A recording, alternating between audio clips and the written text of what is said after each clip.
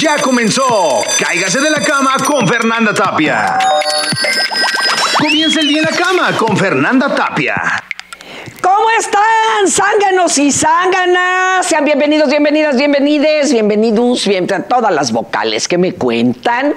Oiga, pues yo ayer dije, ¿cómo? Pues con todo y paticoja vamos a ir a ver a los Reyes Magos y nos lanzamos, por ejemplo, a la Alameda del Sur, que siempre es muy animada eso en cuanto a eso de pachangas, ¿eh? Pero no saben, había una feria completa de juegos mecánicos, así hasta con eh, Rueda de la Fortuna grandotota, estaba toda la zona de juegos de destreza, ya sabe que atínele, que atínele acá con el dardo al globo, eh, con buenos premios. Eh, también estaba... ¿Qué había? ¿Qué había? Ah, pues la zona de la tragadera, que por cierto tiene mucha fama en ese lugar, ¿eh? Había unas brochetas de carne, pero de carne, ¿eh? sí, porque hasta le convidaron un perrito, entonces yo dije, ah, pues no es de perro. Bastante olorosas, sabrosas, antojables. Los clásicos elotes, eso sí, me querían dejar ir uno a 70 varos, que porque era el último cacahuatzincle del desierto y estaba congelado. Le dije, no, Pérez, ¿cómo le va a dar 70 varos por un mendigo elotito? y claro, las fotos con los Santos Reyes, que este año están a 200 murlacos, pero eso sí, había que escoger la mejor escenografía. La mayoría estaba yendo por la de las pirámides y los elefantes, pero sí estaba re alta. Yo dije, no, hombre, me ando trepando al elefante y pa' qué te digo, me baja de la colita. Oiga, vamos a platicar de esto y mucho más, pero al ratito. Ahorita les tengo una súper entrevista con Alexis Ortiz, periodista de La Lista, porque México romperá récord por violación a derechos humanos cometidos en 2023. Y ahorita nos platica de esto nuestro querido Alexis. Bienvenido, muy buenos días. Hola Fernanda, ¿qué tal? Muy buenos días, ¿cómo te encuentras? Gracias por el espacio. Al contrario, me encanta verte, lástima los temas, carnal. Ah, oye, a ver, cuéntanos, porque la CNDH abrió 15.616 expedientes por violaciones a derechos humanos eh, en 2023. Oye, y de por sí andaban paticojos, no podían chambear, ¿no? A ver, tú cuéntanos todo este asunto. Así es, Fernanda, pues te comento que justamente eh, el récord que se tenía eh, sobre expedientes que la CNDH abría por violaciones a derechos humanos era en 2022. En 2022 se abrieron 15.942, pero en 2023, entre enero y septiembre de, de, del 2023, se abrieron 15.616. A estos todavía faltaba sumarles los de octubre, noviembre, diciembre.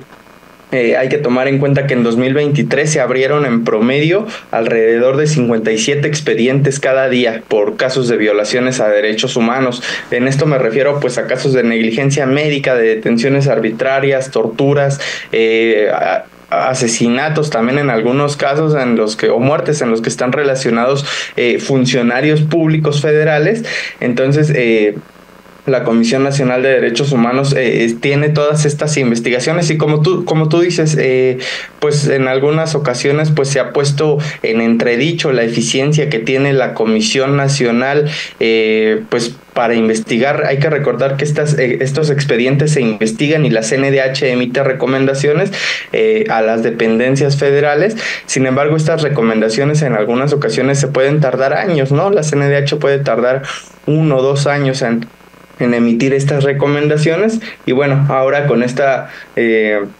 saturación de trabajo podría ser incluso mayor el tiempo, como tú bien dices, eh, pues en el caso en que la comisión pueda, pueda resolver todos estos asuntos. Me preocupa, por ejemplo, eh, ¿qué consideramos una eh, violación al derecho humano? Cualquier crimen, ¿no? Porque, bueno, podría ser tomado como tal, está coartando nuestros derechos. O cómo deciden en la comisión que sí les toca a ellos, vamos, y que van a leer. Ahora sí que van a abrir su carpeta, aunque yo creo que tendrían eh, que hacer una secretaría de la carpeta porque las carpetas luego no llegan a ningún lado.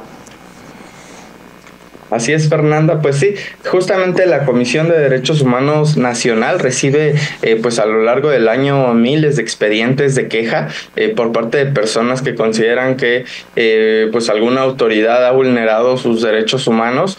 Pero bueno, la CNDH va depurando y va analizando y al final es como se toman en cuenta en 2023 estas 15.616 expedientes que están pendientes todavía de investigación. Eh, básicamente, como te comentaba, pues eh, la CNDH inicia estas investigaciones cuando hay indicios de que sí se ha cometido una violación a derechos humanos que puede ser desde distintos factores, ¿no? Eh, incluso, por ejemplo, vemos que hay casos en los que se considera una violación a derechos humanos que la Secretaría de Bienestar pues se tarde en atender a personas adultas mayores, por ejemplo, se da mucho eso, se tarde en atenderlos en la entrega de sus becas o en casos más graves pues ya tenemos los casos de tortura o los casos de detenciones arbitrarias por parte de, eh, de Fuerzas Armadas o en algunos casos que esto le toca más bien a las, eh, a las comisiones de derechos humanos estatales, eh, les toca pues la investigación de las detenciones arbitrarias cometidas por policías estatales. Entonces en el área médica también podemos tener la mala atención por parte de, de autoridades como el IMSS o el ISTE esas serían algunas de las eh, pues tipos de violaciones a derechos humanos, ¿no? Que, podrían estar sufriendo. normalmente son por parte de representantes de, de la justicia, del gobierno, de la ley, o también puede ser cometidos por algún particular. Fíjate que pues sí podrían ser cometidas por algún particular, pero en este caso la Comisión Nacional de Derechos Humanos solamente investiga eh, abusos cometidos por autoridades federales. En los estados incluso tenemos 32 comisiones estatales que investigan los abusos cometidos por autoridades estatales. Entonces, eh, pues las violaciones a derechos humanos cometidas por el sector privado, digamos que ahí tenemos una cifra negra porque no hay una forma eh, de medirlo. Y lo que comentabas eh, respecto a qué autoridad son las que más cometen, sorprende que eh, pues eh, el sector salud es donde más abusos y violaciones a derechos humanos se cometen. El Instituto Mexicano del Seguro Social, el IMSS, desde el 2012 que la CNDH hace públicos estos casos, encabeza siempre la lista de expedientes por violaciones a derechos humanos y en muchos casos pues es casos de negligencia médica. Y bueno, pues también hay que tener en cuenta que el IMSS atiende alrededor de 400 mil personas cada día y pues eso pues eh, expone más a, esta institución. Oye, ¿y conocen los resultados ustedes de esos que levantan actas por negligencia médica? ¿Cuántas resultan ser ciertas? Eh, pues no, no hay una estadística. Los expedientes de la CNDH, estos 15.616 que se abrieron en 2023, pasan a un periodo eh, de investigación y la comisión es la que al final pues determina eh, de cuántas de estas sí se van a, emitir recomendaciones. Como te comentaba, eh, pues las recomendaciones que emite la CNDH luego de hacer estas investigaciones pueden tardar procesos eh, de años, ¿no? De uno, dos años o incluso hasta más. Es por ese motivo que incluso en 2000 ahora en 2024 o en 2023 veíamos pues que la CNDH emitía recomendaciones de casos que pasaron en 2012, 2013, 2014. Entonces, eh, pues sí es importante que la comisión agilice estos procedimientos porque se comete una violación a derechos humanos y entonces las familias eh, o la misma persona que ha sido víctima pues tiene que esperar años, ¿no? Para que se resuelva su caso y para que le sea eh, pues reparado el daño o le sea atendido eh, por parte de la institución que cometió eh, algún tipo de abuso. Oye, pero llegan a la reparación. Eh, pues fíjate, en México tenemos eh, lo que es la Comisión Ejecutiva de Atención a Víctimas, eh, que es una institución federal que está encargada de atender justamente lo que son las reparaciones integrales de violaciones a derechos humanos, en este caso de autoridades federales. Y bueno, ahí sí te podría comentar que es una institución que está más superada porque tenemos que a lo mejor la Comisión Ejecutiva de Atención a Víctimas tiene, uh, sin exagerar, unos 200 abogados, 200 médicos para atender a miles de personas que han sido víctimas de violación a derechos humanos. Entonces estamos hablando de que en, eso, en, ese, en ese tema de la reparación del daño, si bien la Comisión Nacional y las comisiones estatales de derechos humanos emiten recomendaciones y se ordena a las dependencias eh, pues hacer una reparación económica, hacer una reparación de atención psicológica, por ejemplo, pues en muchas ocasiones las instituciones que están especializadas, las, las comisiones ejecutivas de atención a víctimas, sí están superadas por el poco personal y el poco presupuesto que tienen. No tenemos cifras de eso, de cuántas sí llegan a la solución. Eh, no, la verdad es que en México eh, pues no no tenemos eh, una estadística, lo que se tiene pues, son estadísticas de las de las de las comisiones de atención a víctimas.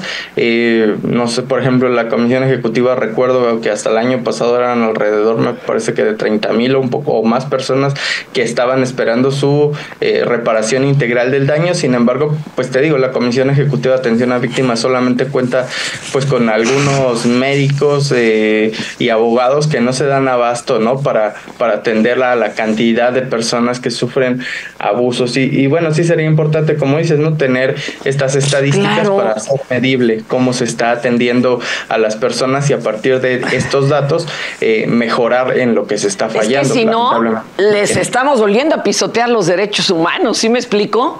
Van, levantan un acta y nadie los pela, pues eso es eh, muy angustioso y muy grave, compañero. Qué difícil, ¿eh? Qué difícil situación. Así es, eh, por ejemplo, el año pasado hay una organización se llama Ideas, en diciembre publicaron un informe sobre casos de desaparición de personas en los que en muchas ocasiones pues están involucradas autoridades federales o estatales y en este informe se indicaba que luego de la desaparición eh, de un familiar, por ejemplo, las personas reportaban, el 80% de 200 personas encuestadas reportaron eh, pues que su salud se veía mermada, ¿no? por la desaparición de un familiar entonces estamos hablando de que estas violaciones a derechos humanos eh, pues sí afectan eh, la salud y la vida de las personas y pues es urgente ¿no? que el Estado mexicano también se haga responsable de, pues, de esta parte. Ay Dios. Compañero, eh, sus redes, la página de la lista, ¿cómo podemos consultar más a fondo estos números? Adelante. Sí, Fernanda, pues nosotros nos pueden encontrar como lalista.com en nuestro sitio web y como la lista news en nuestras páginas de Twitter y de Facebook. Ahí pueden encontrar más información de esta nota que se publicó el, el, martes y más información. Gracias, Alexis. Un abrazo. Muchas gracias a ti, Fernanda. Que tengas un muy buen 2024. Iguanas ranas, ese no, pues sabiendo esto, levantas un acta en derechos humanos y de aquí a que. Exacto, exacto. Hice una seña, mira, bien, bien clarificante la cosa. Exactamente, ni corta ni larga. Ni larga. Se larga. Y puras notas regachas le traigo. ahí. No, yo traigo una linda, madrina. No, déjeme una fea para que le guste con la linda. Ah, entonces échele, échele a la fea. Mire, pie izquierdo, un papá y su chavito murieron calcinados en su tapicería en San Mateo Ate. No esté jugando. Que es temprano. joven, 37 años, y el morrito de 4. No, cierto. Se durmieron eh, adentro de su negocio, que es una tapicería. Bueno, era. Era. Y se dice que mientras dormían algo se encendió.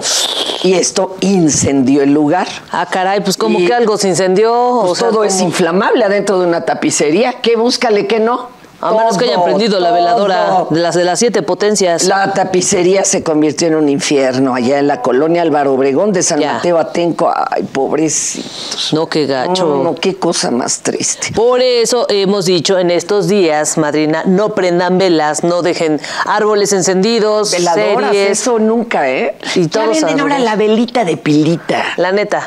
Ya sí está más chida. Mucha su fe. A ver, síguele. Si es demasiada su fe, como doña Paris Hilton, que era demasiada su fe que dijo, no, yo voy a tener a mi hijo y a la la. Pero no es lo mismo tener al hijo de a de veras que tener al hijo nomás de a mentira. Se aventó un show que usted nomás imagínese, de, de, telenovela. Resulta que Paris Hilton sí tuvo por fin su bebé, pero ella no tuvo el bebé, fue vientre alquilado. ¿Por qué? Pues porque pues, no quería no perder quería la perder su figura. figura, ¿o qué? Sobre todo el figurín. Entonces el show no fue ahí, sino que se volvió viral en las redes sociales ayer porque eh, en la cama del hospital. O sea, una cosa chula, como si ella hubiera tenido al bebé, se puso su sombrero. Bueno, bueno, debe su de ser bebé. algo muy impresionante hasta como para no parirlo, pero sí te pega. Por ¿no? eso se llama Paris Hilton, yo creo. Paris Hilton. Pero No sí tuvo al hijo. Se volvió viral en redes sociales las críticas que se le fueron con todo. Ya saben que si no tuvo el hijo, entonces para qué hace la jalada, que da y que no sé qué. Aunque en todo momento se dice que acompañó a la mamá, pues que sí realmente se aventó el show de tener el hijo. Pero la mayoría puso, fingiendo que diste a luz, te ves muy mal. Así le dijeron. Es que hasta la llevaban en silla de Cada quien ruedas. su agasajo, ¿no? Cada quien La su llevaban en la silla de ruedas y todo. Pues como si Esto, ella esto además es de sentido. impresiones, porque se me hace que luego la, la hormona le pega, ¿sí o no? ¿Será? Yo creo que sí, porque además de que ella dijo, pues, que estaba muy eh, sintiéndose realmente mamá del bebé, Ah, no, aunque claro. la mayoría, pues, se burlaron, le dijeron que eso no puede pasar, pero ella dice que por estar cerca de la mamá, que fue la quien gestó a este Si bebé. las hormonas flotan, chatos, luego andan sintiendo antojos hasta los señores y no por un beso o algo. La hormona flota. Ah, carajo. Entonces, pues yo no Pues me yo creo andaría que flotó. lo que no me importa, ¿verdad? Si la señora quiere así vivir su maternidad, pues muy su gusto. Así es, y Y subió las ella. fotos a redes sociales y pues toda la bola se le Ay, fue pero es encima. que la, la opinología en este país. Siempre pasa, ¿no? Ay, Dios, Qué envidioso. Les da envidia, esa es la verdad. Oiga, y luego ¿Qué? otra, otra así grave, grave. Échele. Es que como estos no tienen de esas notas Madres, allá, ah, no, pues andan, andan opinando de la pobre de la parir Hilton. La neta, sí. Eh, bueno, en el Edomex, el crecimiento de la violencia ya está haciendo pensar en que vuelvan las autodefensas. Ah, carajo. Sí, y allá la hay cosa madre. es un poco compleja porque No acuérdense que allá ha habido hasta narcoguerrilla y ay, bueno, está difícil. Allá no tienen moder. Específicamente la cosa se ha puesto color de hormiga en Texcaltitlán. Uh. Podría ponerse peorcito, ¿eh? Peorcito, luego de que sus pobladores emboscaron y asesinaron a miembros de la familia michoacana que les cobraban derecho de piso. Exacto, ya no se dejaron. Ya empezaron los de la familia michoacana a vengarse dándole levantón a jovencitos y jovencitas. Exactamente. O sea, andan desaparecido. desaparecidos. Pero imagínense que empiece el relajo como en Guerrero o en Michoacán. No, cállese. Que, bueno, en, en Michoacán, acuérdense que luego algunas de las autodefensas, luego resultó que no, que sí eran del narco, Ah, como los Viagras. exacto. eh, que fueron eh, los que mataron a don Hipólito Mora. Chale. El americano que le mató primero el hijo a don Hipólito. Chale, eso ya y todo se película. supone que eran autodefensas. Y te acuerdas que hubo un güey ahí que lo mandaron a arreglar. Según. Y que no arregló ni más ni tronando a los dedos el virrey Castillo. Ey. Él les quitó las armas a las verdaderas autodefensas y se las dejó a los que luego se supo Chale. que eran narcos. Manchadito, ¿eh? Ay, Manchadito. no, no, pero- Entre eso y que amanecieron justamente en la carretera muchos en Michoacán con los estos, ¿cómo se llaman? Los que les rompen las llantas, Ah, montachoques. los monstruos o los quiebrallantas o los Exactamente, nota de hoy en la Navajas. mañana también fue esa madrina. ¿Qué? El camino de a Michoacán están a Caminos de Michoacán, ¿no? y pueblos que voy pasando. Ah, no, entonces iban las, los camiones de carga, Claro, y les revientan y las ahí les revientan las llantas, qué manchados. Yo qué va- y muy- obviamente muchos dijeron que en la madrugada.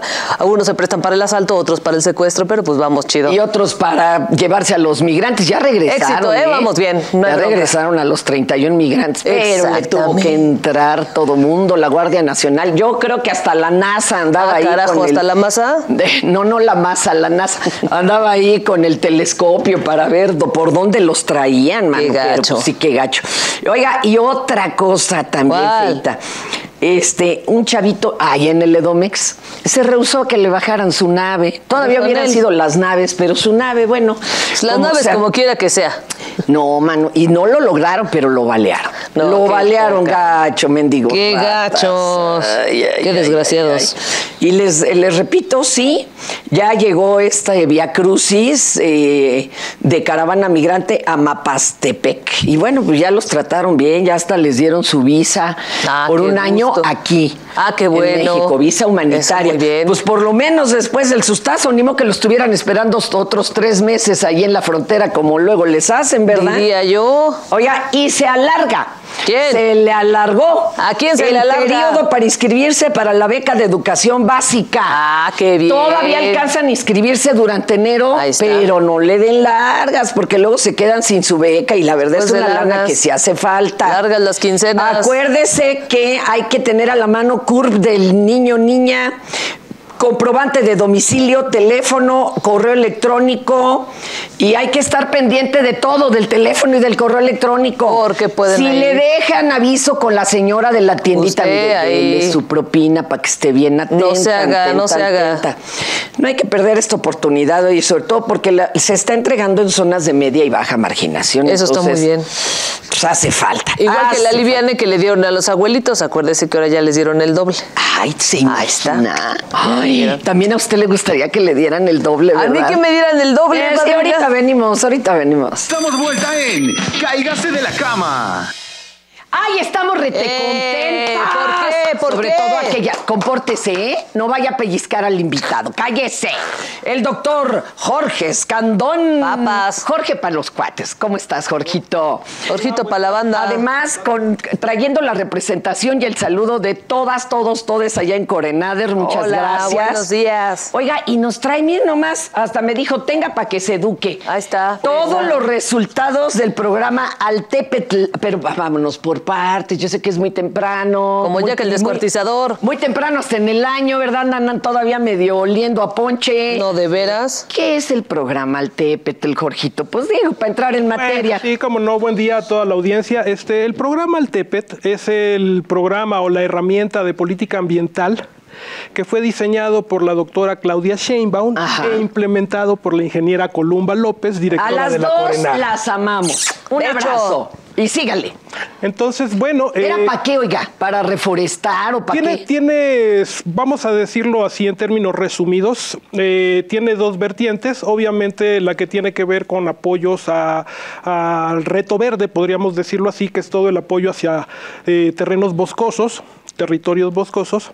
Y tiene también este, la vertiente productiva que es este obviamente todo el apoyo que se brinda a la dinámica agrícola que tiene el suelo de Tenían que conservación. atender las Ah, dos. Claro, claro, de manera O sea, integral. suelo de conservación en general. Así es, de manera integral. Ya La ves, gran te la problemática. resumió y ni cuenta Me la resumió con mucho gusto porque acuérdense que cuando comenzó justamente este programa, ellos comenzaron con muchos problemas, había muchos lugares Bueno, que pues es que siempre hay intereses, Anita. La neta, que no, que yo ya aquí hice mi rancho, señor, ¿cómo va a ser su rancho si esto es de, de- No se pase el de. Terreno federal y de conservación? Así es. O sea, se encontraron con muchas inercias que había que cambiar. Así es, y justamente ya en la fase, acuérdate que en política pública tenemos el diseño, Ajá. implementación, eh, este, ejecución y evaluación. Sí, pues, si no- Entonces, lo que te vengo a presentar hoy en día es ni más ni menos que indicadores de evaluación en términos del recurso suelo y en términos del recurso agua en el territorio del suelo de conservación. Entonces, aquí nada más el dato importante es que eh, haciendo un comparativo con la administración anterior, la del doctor Mancera, eh, tenemos un resultado de una disminución de la aceleración de expansión urbana de cerca de un 41%. Imagínese qué bárbaro, tendríamos neta, 41% menos de bosques. O sea, se logró detener la manchota es, urbana. Así es, tenemos un proceso de sal- Que acá venía de color rosa, de para que se notara. Sí, para que más o menos le diéramos Pero ¿y esto unos cómo colores. lo lograron? ¿Llegaron a acuerdos con las personas? O, Mira, o- en, en primer lugar, eh, eh, mucho de lo que tiene obviamente el programa Altepet es eh, generar una dinámica de consensos con distintos actores Oh, sí. del territorio. Obviamente, uno de los actores más importantes son justamente eh, las autoridades de los núcleos agrarios. Pero también nosotros tenemos que tener este, estrategias de coordinación con las distintas instancias de gobierno, tanto de alcaldías como de gobierno central. Entonces, eh, aquí lo interesante es que yo te- también te traigo pues ya cifras numéricas Esto que dice superficie urbana, suelo de conservación, ¿en qué está? ¿En kilómetros? Está en hectáreas. Ah, en hectáreas. Está en hectáreas y de, si tú te fijas en la gráfica de barras, eh, mientras que en el periodo 2012-2018 teníamos una expansión de cerca de 1.614 hectáreas, Hijo de su madre. en el periodo que corresponde a la doctora Sheinbaum y a la ingeniera Columba, tenemos 51.52 hectáreas. Entonces son cerca de 700 hectáreas de diferencia Esa entre es una... un- la vara muy alta, ¿eh? A Sí, ver si no viene alguien rango. que quiera hacer su cártel inmobiliario boscoso. es que a poco no, sí los hay. Y que están Sí sobres, los ¿eh? hay y son sobres. Oiga, ¿y acá qué dice? Ah, pues mira, acá, acá, acá te presento un desglose donde las barras azules representan la administración 2012-2018 por delegación o por alcaldía, perdón, por alcaldía, y en colores, este, en color naranja, justamente eh, el ejercicio de la actual administración. Es interesantísimo porque las barras azules de las otras administraciones Están arriba, disparadas. arriba, disparadísimas, sobre todo, oiga, Tlalpan, Xochimilco, ¿qué querían volverlos? Este, Pues mira, este. multifamiliar o qué, les pasa? ¿Qué quieres que yo te diga? Aquí lo interesante es que ya nosotros tenemos efectos de la política Altepet sobre el proceso de expansión urbana. Entonces se nos hace importante comunicarlo porque obviamente ya tenemos una dirección de política pública que tendría que mantenerse y que tendría que fortalecerse. ¿No? Sí, claro. Darle esa continuidad, ¿no? Claro, darle continuidad. Es que eso es lo que da miedo. Así es. Perdón, pero a mí sí me da miedo, Doc. ¿Y Pues- cómo se nota justamente el crecimiento del 18 al 23? Estos años que pareciera como que dirían otros, no, no se nota, no, sí se nota. Ay, déjalo. Mira, si quieres, Madre, no. si quieres, este, eh, aquí justamente tienes, eh, ahorita que hablaste de Tlalpan, si nos vamos Es a, que qué miedo era el más, el que iba a arrasar con Pero todos con sus todo, bosques, claro. ¿eh? si nos vamos justamente a los mapas de Tlalpan y si los presentas así, haces una presentación de, la, acá. de la hojita que la muestres. ¿no? Ahorita la- aquí la la, muestro, aquí la tengo, mira, te la está. paso para que no. Pero ¿y usted así de memoria? No, pero pues entonces deme, deme mi acordeón, no acá, así. pues, sí. ¿No? Entonces, A ver, ¿dónde no te da tanto brillo? Ahí. Ahí. mira. eh, Lo amarillo es zona de uso urbano, Sí. hagan de cuenta. Y el ¿Pa' color qué? y el color moradito es lo que hubo Ese no como- se va a distinguir también, pero es lo que iba brotando como hongos. Ándale. Y entonces ándale. de un día para otro ya había tres casas, cuatro Pa' casas, mañana. ¿no? hasta con cimientos. Sí, pero Dice uno, ¿y esto cómo, cómo que pasó aquí, verdad? ¿En qué momento Ándale. pasó? y aquí lo importante es que si te vas a la siguiente página, que es la de los datos, tienes una disminución de expansión urbana de 515 hectáreas a cerca de 238. A ver, tú me dices ahí, la colocamos, mi Ahí la gráfica. Para que... Ándale. Exacto. Ahí está. ¿No? Ahí la ves. Y si te pasas a la siguiente, Enorme. si te pasas a la Sí, siguiente, la barra que traían de, de, si te de pasas a la, crecimiento. ándale, si te pasas a la siguiente, aquí lo interesante es que quiero que lo que, que- que analices justamente que aquí el dato eh, no está agregado, sino que está desagregado por año. Entonces tienes una expansión, si te fijas en la gráfica superior derecha, donde también la línea lo que te marca es un proceso de desaceleración. Ahora, a ver, ahí le va. Una pregunta, jefe. Chécale. Esa barra enorme que creció en los otros sexenios, ¿ya se quedó así o la desmontaron? O ni modo, lo que ya creció, pues ya creció. Ajá. Baja. ese, es, ese es justamente un tema importante, tu pregunta, gracias por la pregunta. Eso eh, eh, se queda. ¿Por qué? Porque tú tienes un proceso, o sea, el contexto en este momento mundial es que el siglo XXI es el siglo de la expansión urbana, es el siglo urbano. Entonces, ¿qué te implica eso? Que toda la política que tú generes, diseñes, implementes y ejecutes para que disminuyas esa tendencia es exportable, en pocas palabras. Ok, lo que ya existía se quedó, pero Sí. no se permitió que creciera a la misma velocidad. Exactamente. O sea, sí creció un poco, pero ok. Y ustedes, en cuanto a nuestros vigilantes de los bosques y de las zonas de, de cultivo y demás, ¿qué prefieren? Este, porque luego hay alcaldes que dicen, ah, es que a mí me dijo el INEGI que falta eh, traer aquí más personas a la alcaldía. Esta cifra. Que se construyan edificios para arriba en lugar de tratar de invadir el bosque o mejor ninguna de las dos. ¿Ustedes qué opinan? Bueno, nosotros opinamos que en primer lugar sí tiene que haber un proceso de reordenamiento que además te permita, primero, recuperación de espacios, reubicación. De, de- de algunas este, eh, zonas habitacionales y obviamente una inyección integral de recursos, pero como, como programa de gobierno. no nada más al TEPET, que en este caso ya está dando resultados, sino con una visión mucho más integral. más Claro, general. claro. Es que luego también a mí me inquieta porque si le crecen para arriba y luego de dónde les traemos agua a todos. Ah, que es suban. que de eso es el siguiente indicador de que te A ver, quiero platicar. aquí viene ¿Qué pasó problema, con el pues, agua? sí. Mira, también nosotros haciendo eh, justamente esta evaluación, que es con análisis de imagen satelital, Ah. ahí tienes, en esa gráfica, que, que- quédate en esa gráfica, por favor. Las manchitas azules. Esta gráfica tiene tres colores. Eh, la parte gris es obviamente todo el polígono de la zona patrimonio, que implica tanto la delegación Xochimilco como la delegación Tláhuac y parte de Milpalta. Los colores azules tienen que ver con los cuerpos de agua y los colores amarillos, que ves esas líneas amarillas, es todo el esfuerzo georreferenciado del trabajo de limpieza de canales que ha llevado a cabo la Corena en esta administración. Ese esfuerzo, para que o lo sea, un canal si cuantifiquemos, se tapa ya valió, o sea, ya no sirve. pues es que ese es el Muere. punto. Acuérdate que nosotros éramos una ciudad lacustre. Claro, pero y se llegan a tapar los canales. Claro que se llegan a tapar, o sea, tú tienes ahí dinámicas relacionadas con, pa' pronto, con, con- con lirio.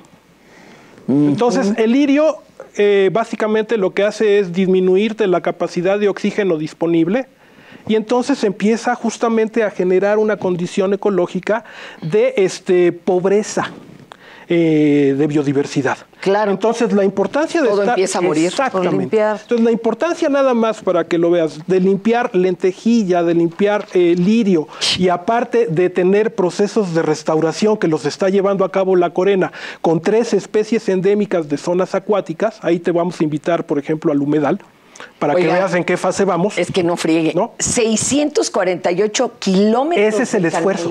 fueron Imagínense. limpiados a mano. Ese es el esfuerzo. La a mano.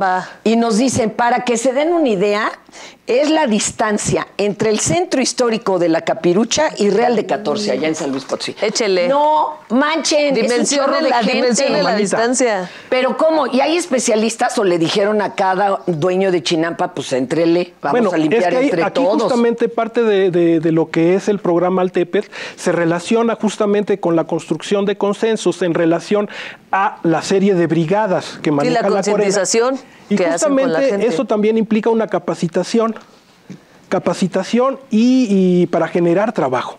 Generación de trabajo y capacitación. O para sea, que sí se- cobraban un sueldito quienes limpiaron los canales. Bueno, o sea, es parte, es parte de cómo Mire, está constituido el programa Sí, Altepet. porque si no, pues abandonan los Así canales. es. Y Como que Y va a es decir que me voy a andar yo perdiendo ahí el tiempo. Claro, y es justamente parte de lo que ha cambiado en términos de la política pública. Y si te das cuenta en la, en la, en la imagen, en la diapositiva o en la imagen anterior, en la hoja anterior, en la hoja que sigue, perdón, de lo que te das cuenta es que tenemos un comparativo también 2012, 2018, 2018, Sí, bueno. 2023, donde este gran esfuerzo en términos de política pública Sí se nota. Se ve el resultado. no nada más se nota, sino que aquí te lo cuantificamos también en hectáreas y ha sido una ganancia del espejo de agua en zona patrimonio de 83.46 hectáreas. O sea, date cuenta lo que implica esto. O sea, en pocas palabras, en dos indicadores, el de suelo y el de agua, nosotros ya tenemos resultados concretos, concretos en términos de la evaluación Ahora, del TEPE. ¿Cuán- si siguiéramos a este paso, ¿cuánto tiempo tardaríamos en tener ya nuevamente un territorio saludable? Bueno, mira, este, tenemos, tenemos, podríamos decirlo así, tenemos lunares, por ponerle un término, de territorios saludables, justamente con las otras vertientes del programa Altepet, que tienen que ver, por ejemplo, con la perspectiva agro- agroecológica. ¿Qué te implica esto? Que tanto en condiciones de suelo como en condiciones de agua, el cambio de, de productos agroecológicos versus los productos agroquímicos que se venían utilizando, Puta, ya te empiezan a generar, ya te empiezan a generar por lo menos nodos o lunares territoriales que pueden ser replicados para que justamente puedas lograr ¿Se algún- podría algún día emparejar todo eso agroecológico? Oye, o, está difícil? No, no, o sea, yo creo que es la tendencia, porque tú tienes el modelo relacionado con, con Revolución Verde, que es el de los 60, que justamente nos tiene en condiciones de contaminación de suelo y contaminación de agua a nivel mundial. Entonces, este cambio de, de- de- perspectiva y este cambio de paradigma es además el necesario en un contexto, en un contexto de adaptación al cambio climático. Sí, o sea, sí, también no, es que, ¿qué estamos. vamos a hacer? No, tenemos. como a la o sea, la tenemos, como dicen por ahí, este, eh, bastante, bastante complicada. Pero- pero afortunadamente, pero afortunadamente, lo que en este momento te estoy mostrando es que hay una línea que puede otorgarte, si le das continuidad a toda, a toda esta política y a todo el equipo que está detrás de esta política, obviamente le das continuidad a una de las vertientes que pueden representarte adaptación al cambio climático. Ya sabe cómo somos los humanos, ¿verdad? Si no me sirve, ¿para qué lo quiero? ¿Verdad? Si no puedo hacer ahí mi casa con una vista al, al humedal, ¿para qué lo quiero?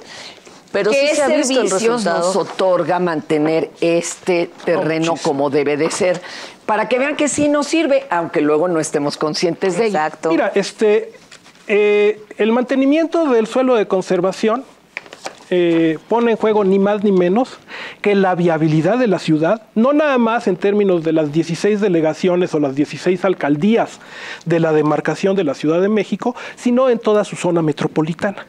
Entonces, ese es ni más ni menos ¿Así? que el peso. Si no, ni vamos a respirar, ni vamos a tener agua. es- chorro es- de contaminación. Ya ves, nomás con el tronadero de cohetes el 31, Ahí otra está el otro día, contingencia. otra vez. Entonces, ese tipo de, de- o sea, regresando, regresando a tu pregunta, es la viabilidad de la ciudad, de la metrópoli, la que, es en- la que está en juego si tú no preservas, conservas, mantienes, mejoras, ¿no? Eh, todo lo que implica el manejo de- territorial del suelo de conservación con acuerdos dinámicos con los propietarios. Y que se, han haciendo, se están haciendo rescates por parte de ustedes de muchas zonas que se habían quedado maltratadas, contaminadas Así y es. olvidadas. Así es. Y es un trabajo ¿Se muy puede bonito. sanar un humedal? Bueno, es que eso es también parte de Ya ves que oíamos de la destrucción de estos al- en el sureste. Claro, claro. Eh, cuando iban a construir este, ¿te acuerdas el Dragon Martin? No sé qué tanto, y que muchos humedales quedaron. Todos feos. Bueno, en el aeropuerto de Texcoco. Así es. Que dicen que ahorita se está reviviendo el ecosistema. O sea, sí se puede. Mira, afortunadamente, este, sobre eh, el paradigma técnico de restauración ecológica, tienes ya ejemplos patentes en varias partes del mundo y también aquí en la ciudad. El que acabas de mencionar es un ejemplo así, este, Puntualito. puntualito, ¿no? Donde estás viendo que hay regreso de especies, hay mejoras de condiciones, por ejemplo, en prácticas este, ancestrales como el cultivo de espirulina. Hay también detalles que puedes ver también en el caso de, de nosotros, eh, todo lo que tiene que ver con las perspectiva agroecológica para ponerte un ejemplo del manejo de miel de la Ciudad de México. Ah, qué bonito. Entonces, claro que hay, que hay ejemplos.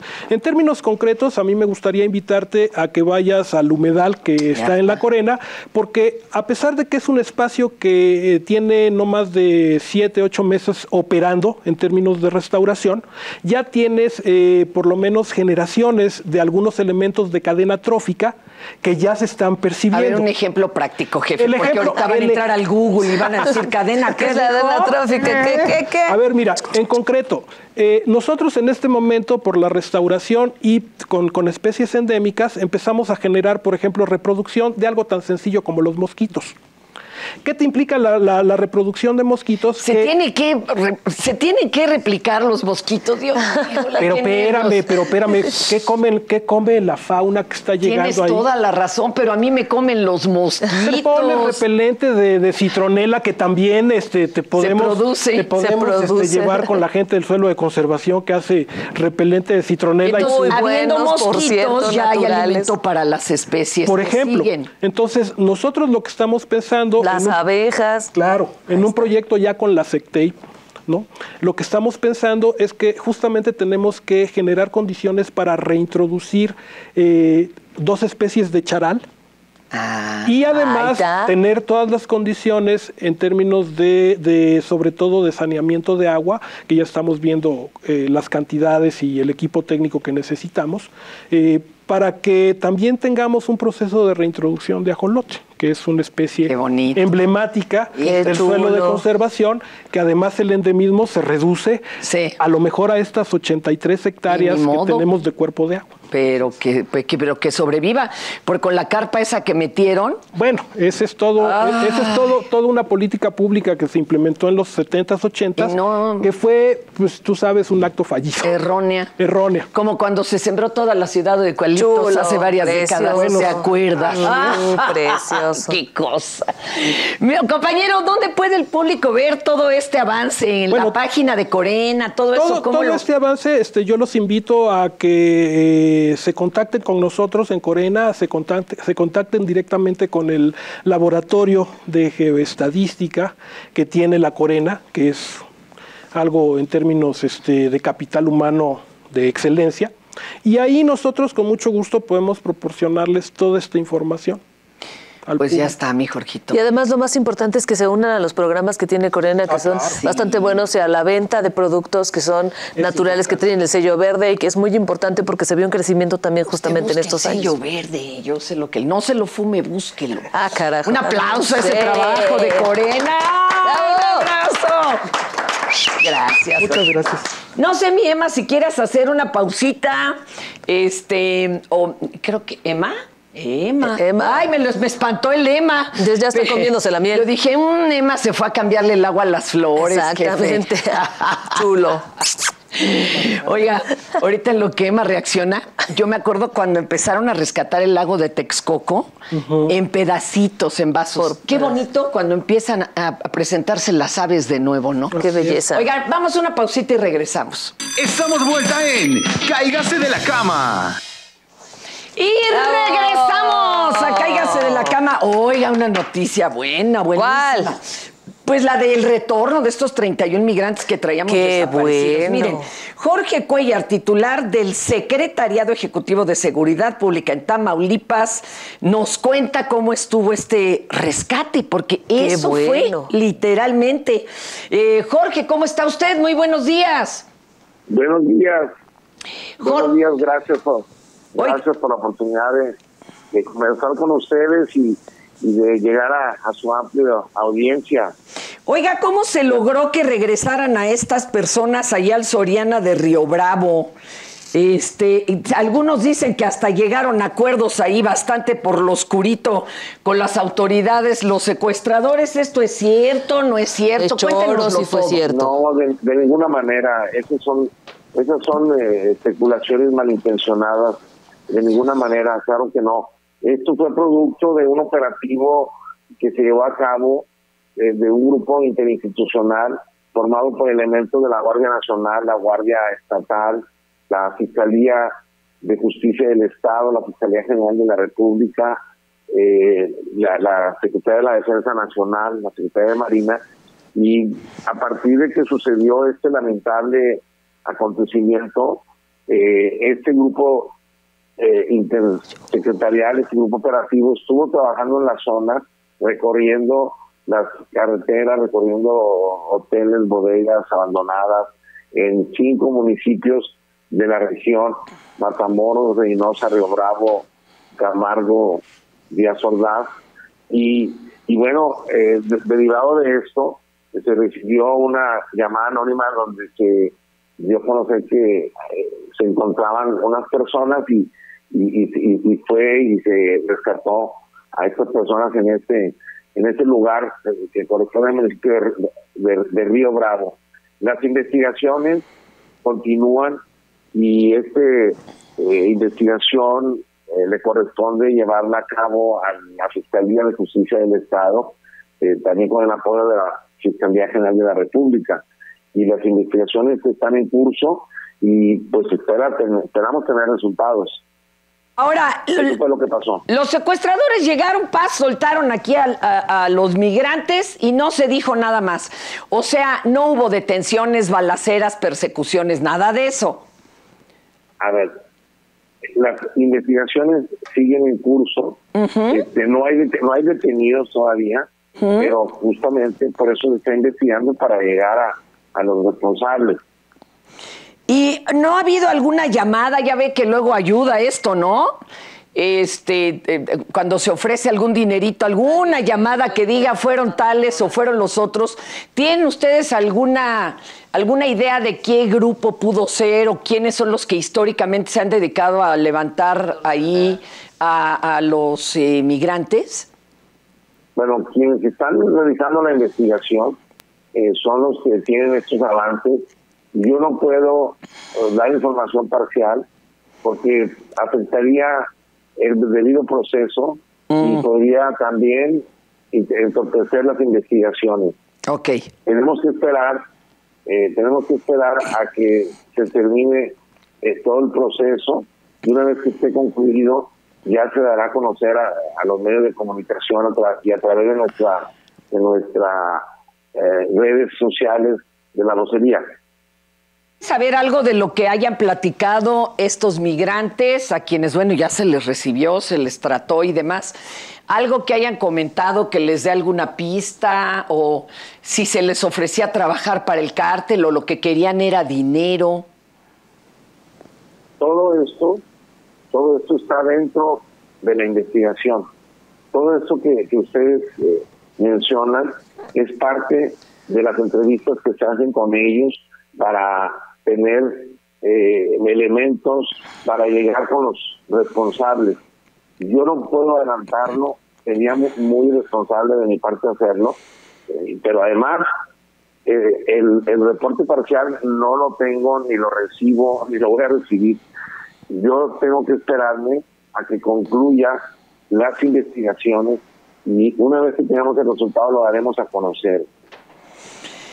Y por otro lado, don Jorge, eh, es común que tras eh, semejante circo mediático que se armó, porque bueno, pues era la única nota, ¿verdad? Pues Además que traíamos, yo creo, en todos los noticiarios. Eh, recule un grupo de malandros y entregue a los que tenía secuestrados o esto no es común? Pues yo no podría hacer una especulación en ese sentido, hacer una hipótesis eh, que, que, pudiera ser o no, porque no me corresponde.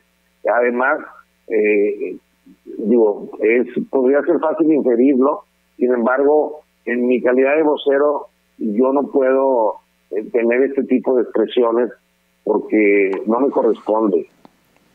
Entonces, hasta el momento lo que sabemos es, fueron regresados a la una de la tarde, eran todos los desaparecidos que se buscaban, están con salud, ¿no? Los 31. importante.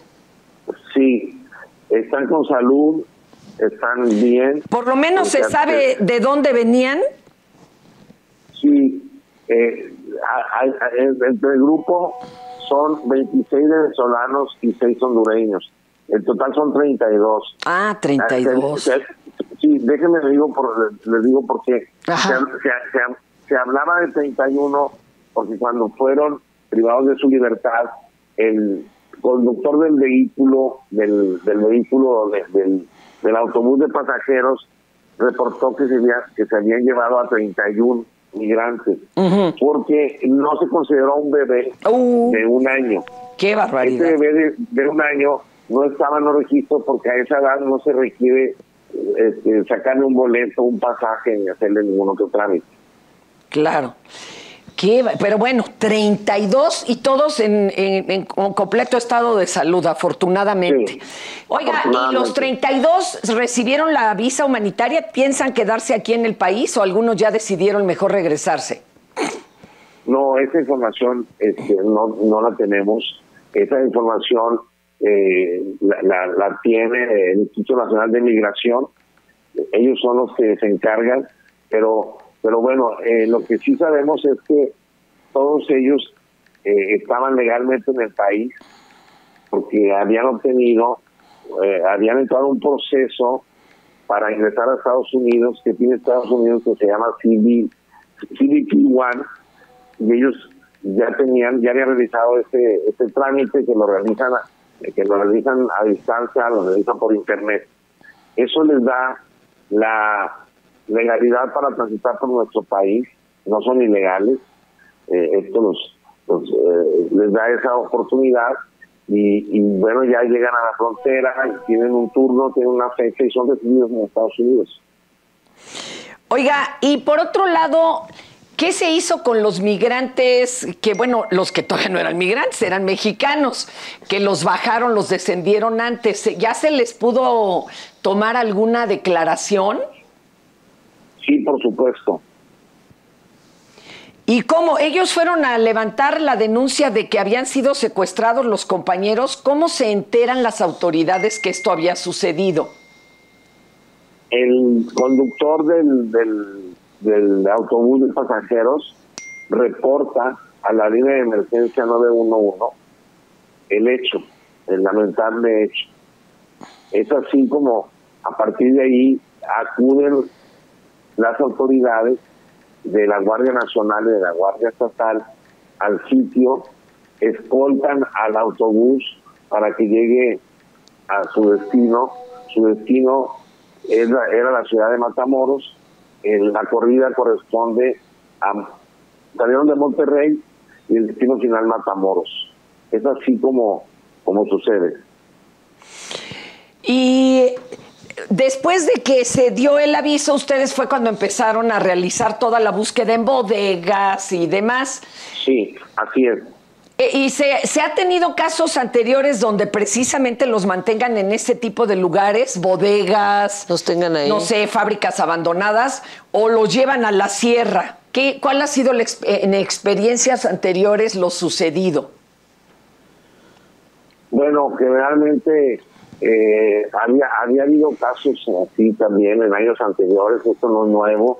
Este, hay que poner, para poner en contexto al público, Tamaulipas es eh, la entidad fronteriza de México eh, con Estados Unidos que tiene mayores cruces fronterizos, tiene 14 pasos fronterizos y además Tamaulipas es el estado más cercano al, a Centroamérica.